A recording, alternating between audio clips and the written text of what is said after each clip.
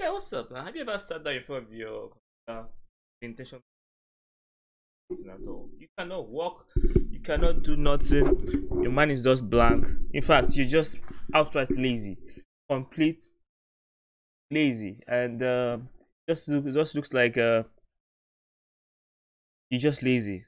You know, just lazy. You know what you have to do, but you're just lazy, and uh, I, I'm I'm feeling lazy kind of now, man. Like very lazy. I don't know why I should feel this lazy. What do you think I should do to stop being this lazy?